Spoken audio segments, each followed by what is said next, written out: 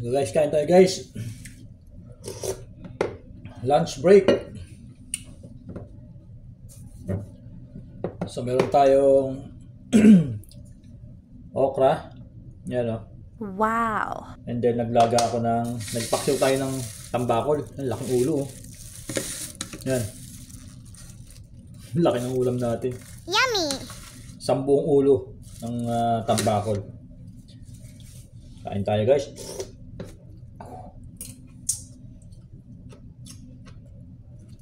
Mmm.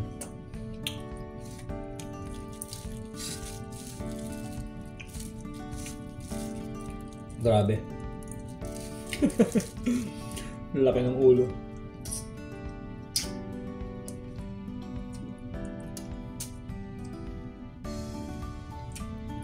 Twelve o nine. So, one hour yung ating break time.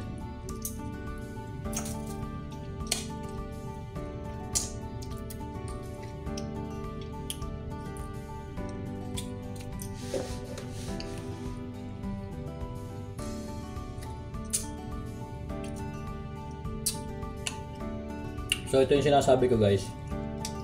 Kapag nasa trabaho ka, limitado lang yung kain mo. May oras. Kaya kailangan, pag nag-lunch break ka, damihan mo na yung kain mo. Kasi ang sunod nito, mamaya naman, alas 5 ng hapon.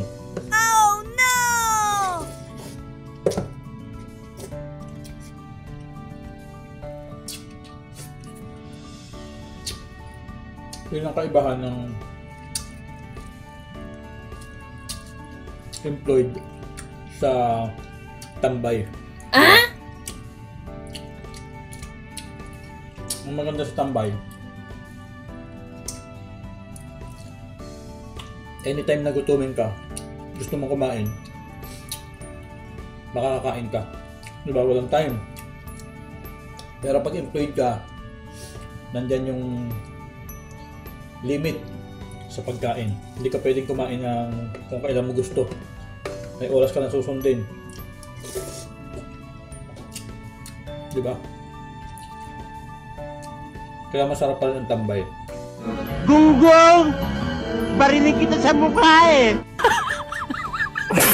Nakakain ng anytime kung kailan nila gustong kumain. Yun nga lang walang pera.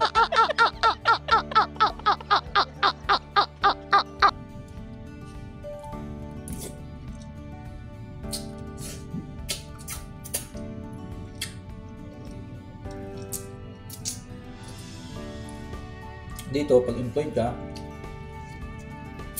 limitado yung pagkain mo, pero may inaantay ka namang sweldo. Di ba? Yun Nga lang, talagang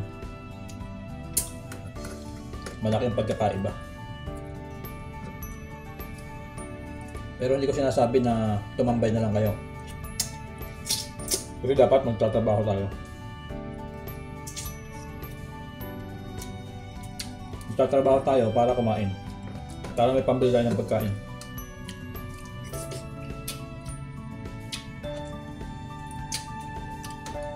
Kumain na ba kayo guys? Hindi ko alam kung paano ubusin tong ulam ko. Ang laki. Pero kaya natin yan. Kayang kaya natin ubusin yan. Matagal-tagal kasi ako hindi nakakain ng ganitong ulam guys. Palaging karne, palaging ah, karning manok. Dahil nga may trabaho, minsan yung madali na lang lutuin yung niluluto. Itlog, um, mga hotdog, bibihira talaga makakain ng mga ganitong pagkain. Kaya kanina, sinadya ko talagang gumising na maaga para makapagluto itong tambakol. Ayan. Sarap.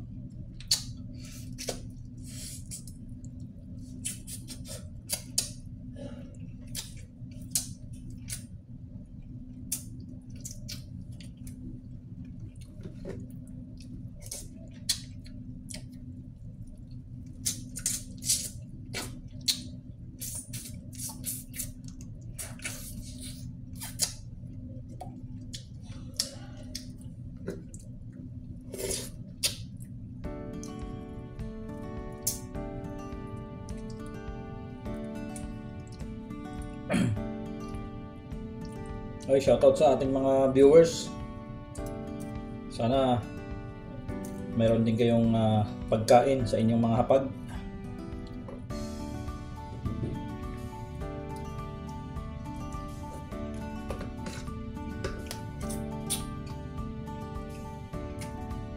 Ating viewers from OFW, hopefully meron kayong ah, kinakain na maayos.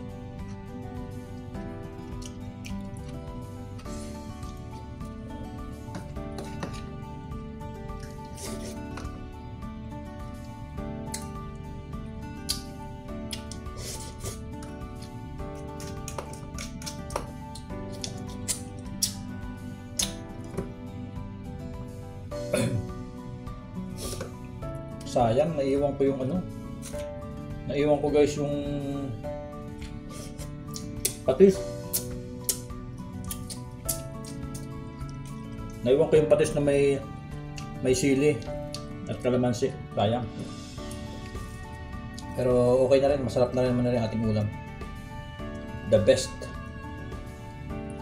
Isang ulo ng tambakol with uh, mainit na sabaw. Yan o.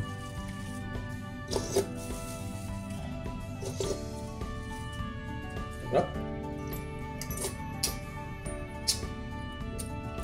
Kain tayo guys. Sa mga bagong pasok, kain tayo. Ito ang buhay ng isang empleyado.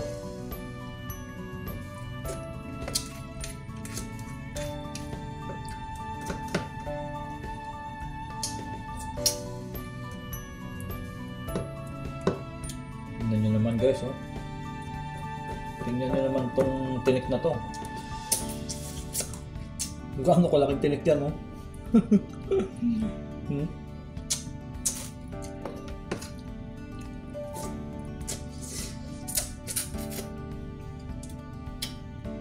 Malaki kasi itong tambakol na to.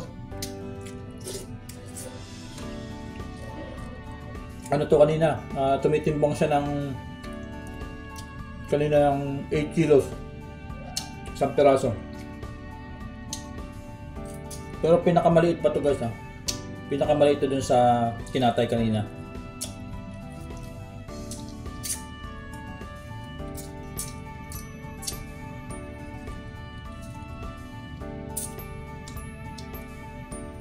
matagal-tagal ako hindi nakakain to guys sobra Huling kain ko ng tambakol na ganito kalalaki. Nasa probinsya pa ako. At the same time, isa ako sa humuhuli nito.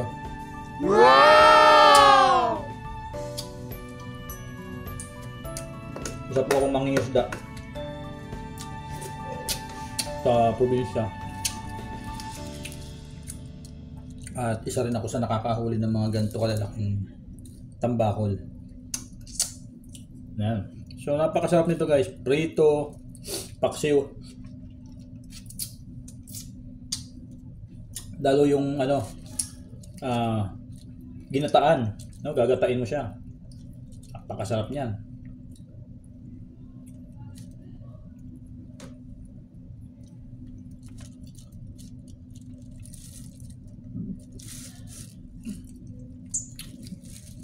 Ginataan tambakol na may ano tawag dito gulay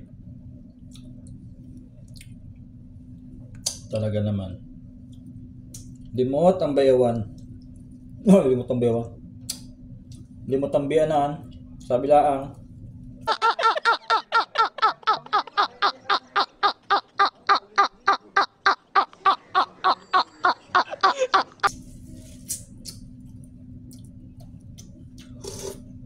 Ah, naman sarap. Ah, ah. Limot talaga ang biyanan. Pag na yung ulam lagi. Gago! Hmm?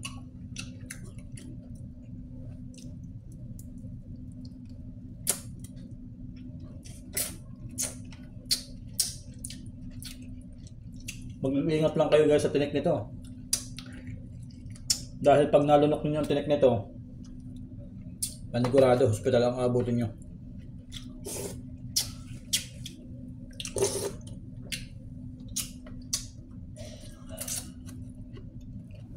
Okra.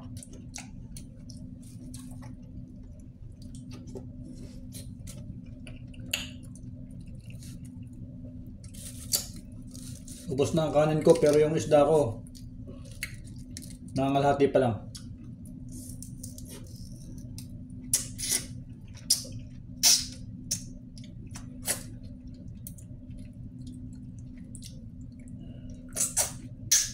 Hmm. Ito yung mga gusto kong ulam, yung mga maraming sinisip-sip. Ito.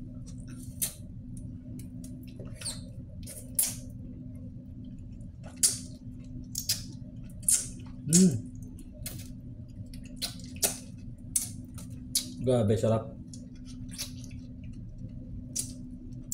Tambakol ho, tambakol. Oh.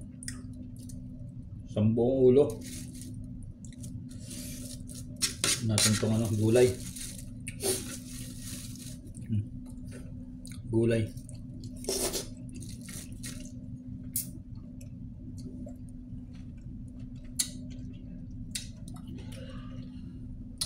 Aba. Talaga naman.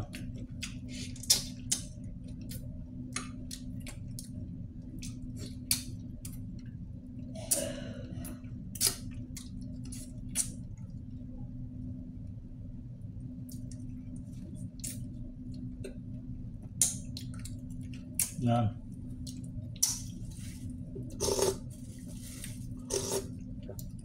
Sa mga kapwa ko empleyado dyan, yan, ito yung sipsipin nyo, ito. oh. Ganito ang sipsipin nyo, isda. Huwag kayong sumipsip sa mga amo ninyo. Huwag kayong sumipsip sa mga mga manager ninyo. Ito ang sipsipin ninyo. Ito isda. Hmm, diba?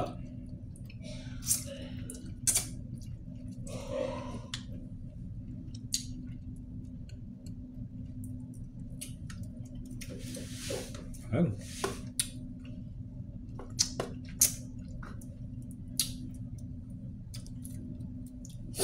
Grabe guys, hindi ko maubos. Hmm?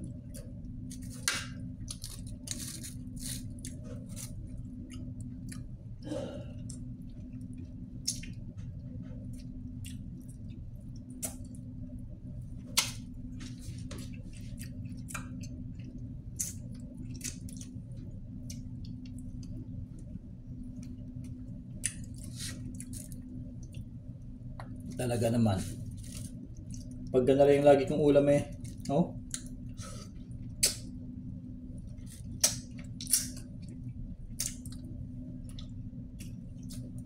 Hindi pala natin to pwede maging ulam guys. Palagi.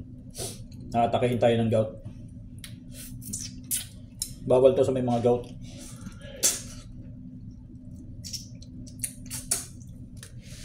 Okay. Okay na. Grabe, hindi ko na ubos. Hmm? Laki pa. Yun no. Pero solve na ako. So guys, hanggang dito na lang. Hindi ko kaya talaga ubusin. Laki. Sobrang laki. So siguro mamayang ano na lang, merienda mamayang hapon. Bye bye.